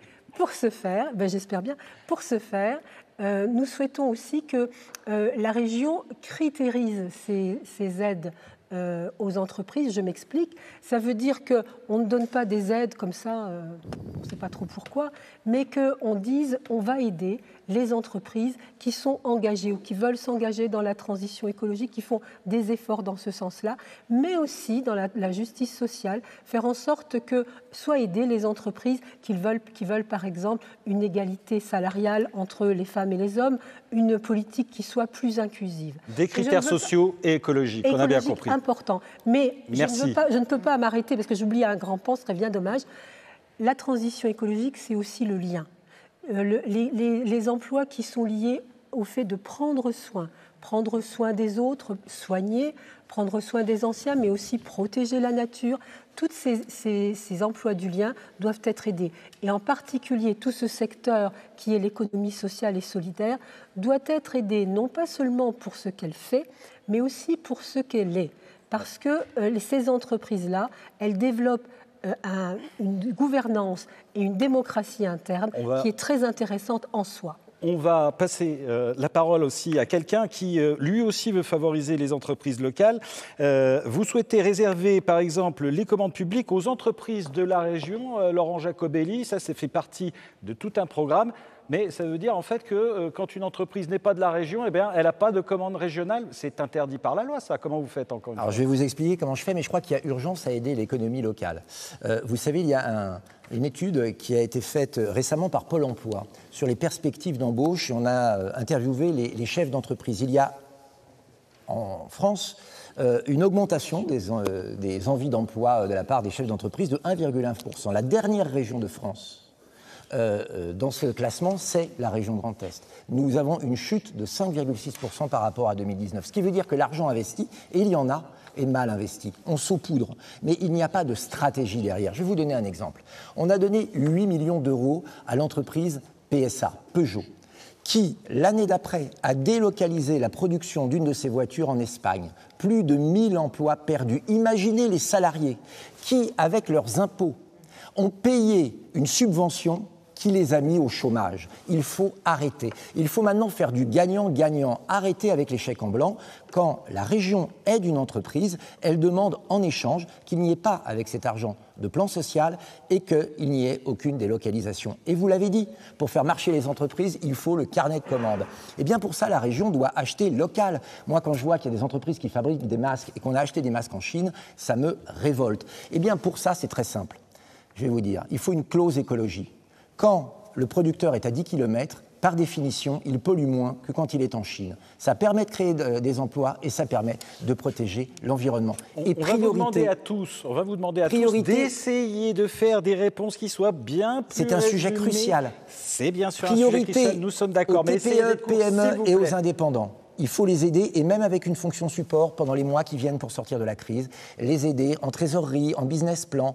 Euh, il faut être à leur côté, et euh, ça ne passe pas que par des subventions, même si c'est important, mais il faudra continuer l'action euh, pendant au moins 12 à 18 mois, parce que c'est les TPE, PME qui créent l'emploi on a euh, dans tous les programmes en fait une question qui revient pour favoriser la relance économique, c'est celle de la simplification. Brigitte Klinker, vous souhaitez donc simplifier l'accès des entreprises au fonds de solidarité. Ça veut dire que finalement le système actuel fonctionne mal. C'est au niveau de l'État ou de la région que ça fonctionne mal, Brigitte Klinker alors, en effet, il faut simplifier les, démarches pour arriver au niveau de la région, un financement euh, rapide et puis lancer aussi un, plan d'investissement de proximité avec les maires, les élus locaux. Ce qui, ne marche pas et ce qu'il faut améliorer, c'est deux choses. Euh, décomplexifier les dossiers qui doivent être présentés pour obtenir des financements, et puis travailler dans la proximité avec euh, pas juste des, des, maisons de la région, mais avec des élus qui soient au contact permanent avec les élus locaux et avec les chefs d'entreprise.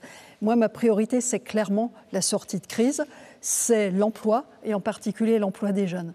Vous savez, au, niveau euh, national, avec Madame Borne, on, nous en parlera tout à l'heure, si vous le voulez bien. Ce sera une thématique. Nous, hein. avons, nous avons quand même un bilan qui est juste incroyable, avec 1,5 million de jeunes qui ont été embauchés depuis le mois de septembre. Gardez vos munitions pour Et avec 520 000 contrats d'apprentissage qui ont été signés.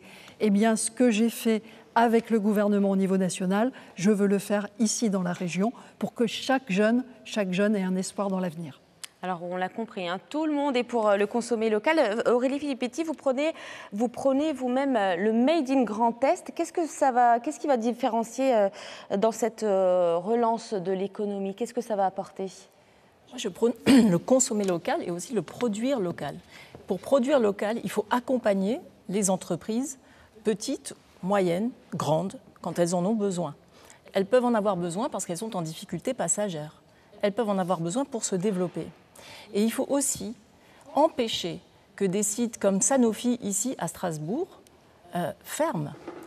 Sanofi, c'est évidemment la recherche française, l'excellence française. Perdre un centre comme ça, à Strasbourg, C'est dramatique pour le territoire, c'est dramatique parce que c'est le lien avec l'université aussi de Strasbourg qui est touché, et c'est dramatique parce que c'est une politique qui repose uniquement sur des stratégies financières. On sait très bien que ce que veut Sanofi, c'est augmenter les dividendes versés aux actionnaires. Et comment fait-il? Eh bien, Il externalise maintenant toutes les fonctions de recherche. Ça, ça, cette politique-là, qui est évidemment une politique globale, mais on peut lutter contre à l'échelle d'un conseil régional. Comment? En créant une banque publique d'investissement régionale. Et c'est ce que je veux faire, qui puisse investir dans le capital des entreprises de manière temporaire ou de manière pérenne, exactement comme le font nos voisins dans les landers allemands. Ça, ça nous permet d'avoir un vrai suivi sur ce qui se passe à l'intérieur de l'entreprise, par ailleurs, moi, je souhaiterais que aussi les représentants des salariés puissent entrer au conseil d'administration des entreprises, un vrai suivi et une vraie certitude d'avoir cet ancrage sur le territoire et qui reste dans le territoire. Et le deuxième aspect, si vous me permettez, c'est l'aspect formation professionnelle, parce que la formation est en lien direct avec les besoins de nos entreprises. Et aujourd'hui, dans certaines filières, textile, sidérurgie, métallurgie, on a besoin de recruter et on ne trouve pas les gens pour recruter parce qu'ils n'ont pas été formés. Florian Philippot, vous, alors j'ai lu quelque part que vous souhaitez forcer les gens à consommer français et local. Forcer les gens, c'est quand même un peu exagéré, non? Je ne sais pas du tout, vous avez lu ça. Donc, euh, On l'a lu quelque part dans votre programme? Non, bah non. Dans Tact Ça, c'est sûr que Alors, qu'est-ce que vous souhaitez Mais ceci dit, qu'on puisse demander à la région plutôt d'acheter local et français, oui. On ne pourra pas la forcer, mais qu'on le fasse, oui. Mais je vais y revenir là-dessus. Mais attendez, moi, j'ai un, peu le sentiment d'être complètement hors sol dans ce que, quand j'entends tout ça. On est, quand là? On est en 2021 ou on est en 2019 Il n'y a pas eu entre-temps quelque chose qui s'est appelé Covid-19 On a, depuis 16 mois, fermé l'activité économique obliger des gens à arrêter de travailler. Il y en a encore, hein? Il y a des activités économiques qui sont toujours fermées là. Aujourd'hui, on n'a pas de perspective de réouverture. Monsieur Delfrécy, le chef du conseil scientifique, nous dit à la rentrée, ça va reprendre. Quatrième vague, il l'a annoncé. Généralement, quand il annonce quelque chose, ça se produit malheureusement. Donc en septembre. Tous ici, à commencer par l'enfermiste en chef qui est Monsieur Rotner, vous avez soutenu ces politiques complètement dingues qui ont mis à terre notre économie, nos indépendants, nos créateurs, le monde de l'événementiel, de la culture, les petites entreprises, les restaurateurs, les commerces. Alors, on a vu effectivement que vous étiez très anti-confinement, que vous ne portiez pas je le regarde masque la de Suède, nombreuses occasions d'ailleurs. Vous voyez, je regarde la Suède là. Aujourd'hui, ils ont déjà rattrapé leur niveau de PIB d'avant Covid. Ils n'ont jamais fermé, jamais. Ils n'ont même pas mis le masque, etc. Toutes ces bêtises. Ils n'ont jamais rien fait. Ils ont par contre soigné les gens. Et ils ont investi dans, l'hôpital et ils ont investi, ils ont laissé leurs médecins prescrire librement, ce qu'on n'a pas fait. Donc d'abord, arrêtons quand même d'être hors sol. Il y a un truc, il y a une des décisions gravissimes qui ont été prises. Monsieur Philippot, pardon, Attendez, je vous ai au Brésil, ce qui s'est passé quand, avec des, gens d'ailleurs un petit peu de votre. Non, non, vous ne pouvez pas comparer avec le Brésil. On a deux thématiques encore à aborder derrière. Ce sont Madame comparez pas avec le Brésil. très importantes pour la région d'une part.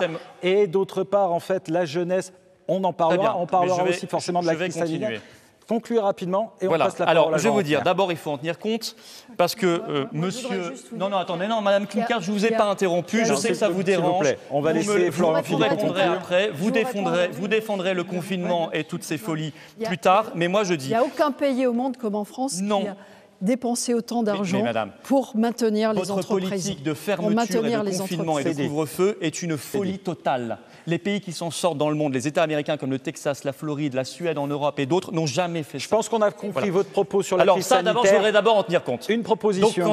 oui. Une proposition. Bah, déjà en septembre, s'il vous plaît. vous êtes en, avance septembre, là. Quand viendra la quatrième vague qui est en train d'arriver au Royaume-Uni hein, en ce moment, bah, j'aimerais qu'on arrête, on refasse pas la même bêtise. Hein, parce que M. Rotner, ça fait six mois qu'il dit qu'il faut reconfiner la région. J'ai retrouvé des citations permanentes. Deuxièmement, alors je vais vous dire ce qu'il faudra faire cibler les TPE, PME massivement. Ça, c'est la région qui doit le faire. Pas les autres, les petits, les créateurs, les jeunes notamment et les entrepreneurs. Massivement, on ne s'éparpille plus. Voilà, premièrement. Deuxièmement, il faut évidemment faire des formations gratuites pour ceux qui veulent reprendre un resto, par exemple, un bar, un café, un commerce qui est euh, à terre à cause de cette crise sanitaire et de leurs décisions. ça, des formations gratuites, parce que sinon, ils vont disparaître. Troisièmement, et j'en aurais terminé. La dernière pour la route Acheter local, bien sûr, acheter régional, mais ayez un tout petit peu l'honnêteté de dire que nous avons aujourd'hui un droit européen supranational qui empêche de mettre des critères locaux et nationaux dans les marchés publics. Or, je suis le seul candidat cohérent aussi là-dessus parce que moi, je suis souverainiste. Et donc le contrairement aux, aux, cinq autres candidats qui sont soumis à l'Union européenne. Alors, comment vont-ils faire l'acheter local? Et la solution, c'est le Frexit. Merci. Jean Rotner, euh, beaucoup de choses que vous rappelez en fait dans votre programme, votre bilan en fait aujourd'hui à votre sens pour la relance de l'économie. On l'a dit tout à l'heure, hein, l'État s'appuie sur les régions pour relancer l'économie. Vous mettez en place également euh, les subsides européens qui viennent pour la relance de l'économie. Tout est en place aujourd'hui. Pas besoin d'aller plus loin encore? Tout est en place par rapport à la période que l'on vient de connaître et ce qui a été décidé également avec les acteurs économiques dans le cadre de ce qu'on appelle le Business Act. En plein confinement l'an dernier, on s'est posé les bonnes questions. Qu'est-ce qu'il fallait faire tout de suite? Qu'est-ce qu'il fallait faire d'ici la fin de l'année dernière? Et qu'est-ce qu'il fallait faire cette année? Il ne fallait pas fermer, Monsieur Rotner. Monsieur Philippot, juste, je vais vous dire une chose. Je ne sais pas si vous avez vu autant de morts que moi pendant, la première, pendant le premier épisode de confinement. Que nous, mais ça, preuve que ça n'a pas fonctionné. Que, moi, que nous, que nous. Mais ça appelle juste un petit peu de retenue et de respect pour ces personnes. Pour ces personnes. Laissez parler, je vais parler Jean Rotner, s'il vous plaît. Je vais, je vais, je vais, je vais continuer. Je vais, je vais, vous avez, vous avez tout à l'heure développé sur le Covid. Dans, on va laisser dans le cadre du, dans, le cadre du, dans le cadre du Business Act, on n'y arrivera pas. Dans le cadre du Business Act aujourd'hui. Florent Philippot, merci. Dans, le cadre, on écoute Jean dans le cadre du Business Act aujourd'hui, effectivement, par rapport au niveau euh, de pandémie que nous avons connu, par rapport au plan de relance de l'État, au plan de relance européen, nous sommes en phase. Et nous avons débloqué les fonds nécessaires. Avec l'État, nous avons signé un plan de relance qui aujourd'hui est de 2,6 millions à part égale. Les choses sont là. Nous avons dégagé un excédent budgétaire parce que nous avons fait des efforts pendant ces deux dernières années, diminuer nos frais de fonctionnement de 5%, de telle manière à dégager des capacités d'investissement. C'est important ce que je dis parce que ça répond aussi à des interpellations de tout à l'heure. De 93 millions qui permettent d'être réinjectés sur les territoires directement. Aujourd'hui, notre capacité d'investissement pour les entreprises, pour les territoires, pour les associations, pour le monde de la culture, avec toutes les structures qui ont été mises en place, des foncières pour aider par exemple les cinémas indépendants, euh, une aide pour euh, les petits commerçants en termes de numérisation, euh, des fonds euh, particuliers qui vont être encore amplifiés dans le futur en matière de, fonds d'investissement, par exemple, eh bien tout cela, ça nous permet de passer d'un budget de 900 millions d'investissements à 1,3 milliard. C'est des chiffres conséquents, mais ça veut dire que les chefs d'entreprise ont compris quelque chose. Aujourd'hui, la responsabilité sociale et environnementale, elle existe, elle est là. Les entreprises l'assument pleinement.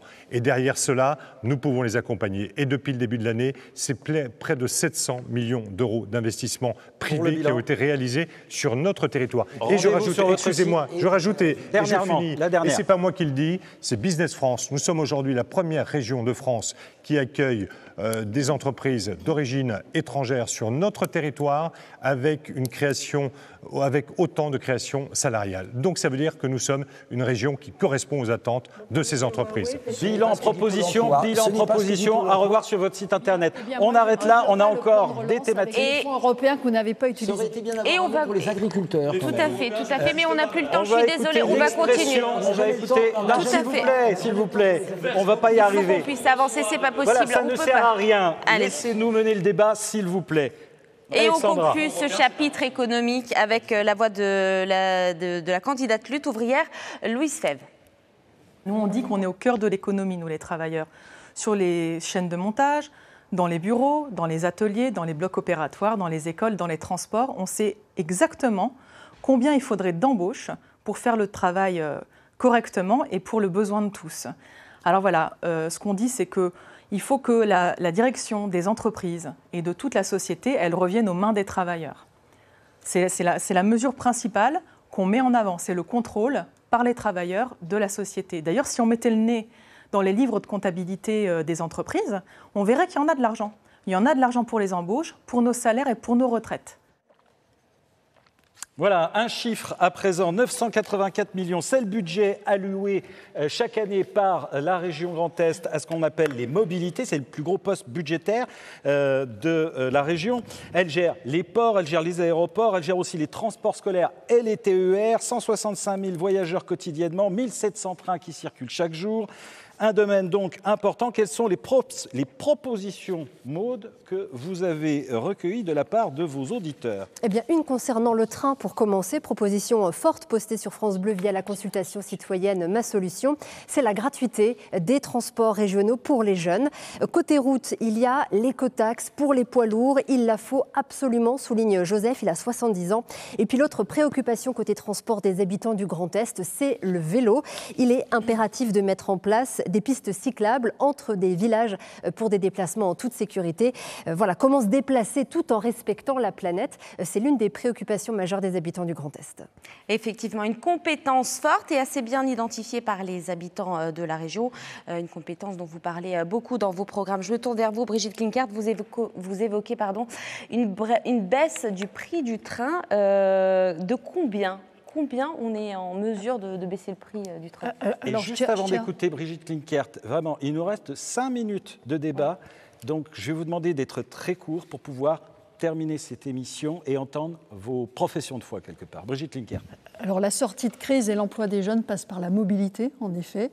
Et l'emploi nécessite eh bien, de pouvoir être mobile. Et c'est bien pour cela que nous allons mettre en place un pack jeune à 1 euro pour tous les lycéens et pour tous les apprentis, pour qu'ils puissent se rendre sur leur lieu de formation, au collège, au lycée, euh, et qu'ils puissent aussi, dans ce pack à 1 euro, euh, déjeuner, donc, dans le cadre de ce 1 euro, à la cantine. Pour moi, c'est très très important que les jeunes puissent aller se former là où ils veulent.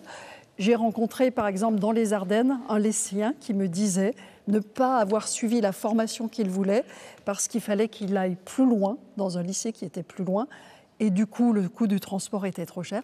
Et donc, je tiens absolument à prendre en charge le prix du transport scolaire. Certains de vos collègues vont un peu plus loin. Ils proposent la gratuité des transports. Euh, alors, alors, moi, je, pense que 1 euro, un pack 1 euro pour le transport et pour le repas à la cantine.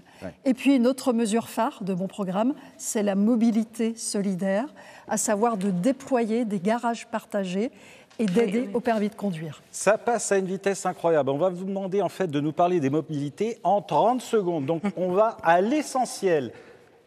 Aurélie Filippetti. Moi, je défends la gratuité des transports par le train pour tous les habitants du Grand Est à l'échelle de la mandature et en commençant tout de suite, dès cette année, par les jeunes jusqu'à 25 ans. Pourquoi? Parce qu'aujourd'hui, la région, elle finance déjà 75% du prix du billet pour l'usager.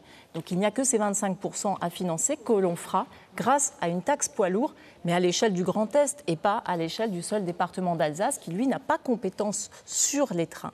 Donc pour moi, c'est une, vraiment la priorité des priorités pour lutter contre le changement climatique, pour le développement de nos territoires et pour l'emploi et en particulier pour l'emploi aussi des soignants dont on n'a pas parlé ce soir, les personnels soignants qu'il faudra recruter, former par la région, loger et à qui il faudra donner des moyens de transport là aussi gratuits. Monsieur Jacobelli, pour les transports, pour les mobilités Alors, on va essayer d'aller à la vitesse du TGV, hein, donc très vite. Merci. Euh, je prends plusieurs engagements. Le premier, c'est qu'on va inverser la tendance.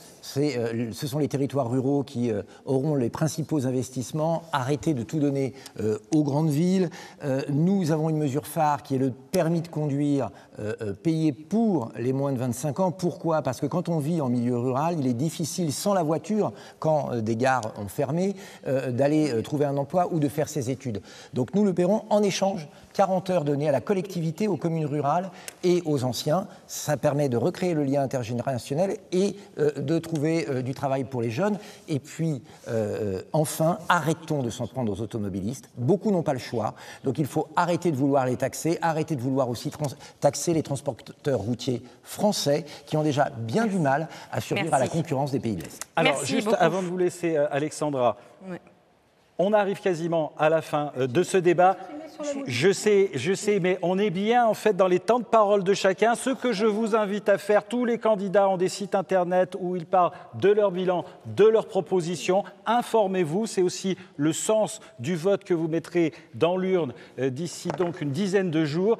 Euh, on va écouter euh, quelqu'un que l'on n'a pas encore écouté dans le cadre de cette représentation démocratique de l'ensemble des candidats. C'est la dernière euh, tête de liste à s'exprimer ce soir, Adil Tian, qui conduit la liste des démocrates musulmans de France. Sa préoccupation essentielle concerne la jeunesse. On l'écoute. Sous toutes leurs formes, quelles qu'elles soient, Et j'entends effectivement faire un de mes chevaux de bataille. Mon équipe, euh, ULUDMF Grand Est, effectivement, a pris cette question-là à bras-le-corps. La question des euh, zones urbaines sensibles, des quartiers populaires, on les appelle comme on veut, les banlieues, est une question absolument centrale chez nous. Et on estime effectivement que ces quartiers-là n'ont plus à subir euh, la politique sans jamais pouvoir la faire. Donc véritablement, cette question-là, on a envie de redonner confiance aux gens qui vivent dans ces zones-là et qui aujourd'hui ont totalement euh, délaissé le champ politique et totalement perdu confiance en fait dans les, élites. Voilà, pour conclure ce débat, nous avons souhaité laisser un moment d'expression libre aux candidats. Ils vont tous se plier à l'exercice, exercice délicat. Ils ont 45 secondes pour convaincre et s'ils dépassent, ils seront alertés par l'inévitable petite sonnerie. Dans l'ordre du tirage au sort, c'est Laurent Jacobelli. C'est parti pour 45 secondes pour convaincre. Dans dix jours, il y a un formidable espoir d'alternance. Et je tiens à le dire aux téléspectateurs et aux auditeurs, nous sommes prêts. Nous avons la capacité à diriger cette région, nous avons la bonne équipe et nous avons le bon programme. Je mène une liste de très larges rassemblements. Là où les autres se divisent, là où les autres font des accords d'arrière-boutique, nous les accords sont là et ils sont clairs. Avec la droite populaire, avec le Centre national des indépendants et paysans, avec aussi des personnalités comme Jean-Louis Masson, euh, sénateur indépendant, nous avons construit une liste solide, avec aussi Thierry Hans, un régionaliste alsacien, fondateur de l'EBDI, qui veut être avec nous. Nous travaillerons avec tout le monde. Tous ceux qui ont des bonnes idées travailleront avec nous. Insécurité, immigration, nous pouvons changer les choses, il faut changer les choses. Contre Macron, contre Rotner, pour l'espoir, votez pour nous. Merci. À vous, Eliane Romani. La décision que nous allons prendre les 20 et 27 juin est une décision historique qui peut changer notre région, qui est importante pour nous-mêmes, pour nos enfants et nos petits-enfants. Nous venons de traverser une crise importante qui a laissé de nombreuses victimes et qui a été aggravée par l'inaction du gouvernement. Nous sommes face à un défi qui est un défi euh, écologique et une crise sanitaire, euh, une crise, euh, pardon, ah, une crise sociale qui est importante et nous ne pouvons pas ne pas proposer des solutions. La solution, vous le savez, c'est l'écologie et la justice sociale. Il nous faut réparer les liens, la nature, il, faut, il est temps de protéger la jeunesse, les droits des, contre les discriminations, en particulier l'égalité des femmes et des hommes. Il est, il est temps de préparer l'avenir. C'est ce que vous propose. Il est temps. Il est temps. Voilà. Aurélie Euh, Filippetti. Merci. Les élections régionales sont très importantes pour défendre les services publics qui ont été trop affaiblis par le passé. Le Conseil régional, il a des compétences pour vous, à votre service, en matière de transport, et je souhaite la gratuité des transports, en matière de formation professionnelle pour les jeunes en particulier, et il faudra évidemment défendre l'emploi dans notre région, parce que nous avons malheureusement eu un chômage qui a augmenté de 8% au cours de l'année écoulée. Défendre l'emploi, ça veut dire défendre les industries qui ne sont pas des industries du passé, ça veut dire défendre la transition écologique de notre agriculture, ça veut dire défendre la recherche et ça veut dire défendre les universités. Ayons une vision positive du Grand Est, parce que c'est un atout pour chacun d'entre nous. Parfait. Merci Aurélie Filippetti. On écoute euh, Florian Philippot. Eh bien, vous savez, beaucoup d'habitants de notre région sentent qu'il y a quelque chose qui ne va pas. Et moi, je souhaite que notre région soit un pôle de résistance. Un pôle de résistance face, elle s'appelle Liberté, ma liste, parce que des choses qui sont terribles vont arriver.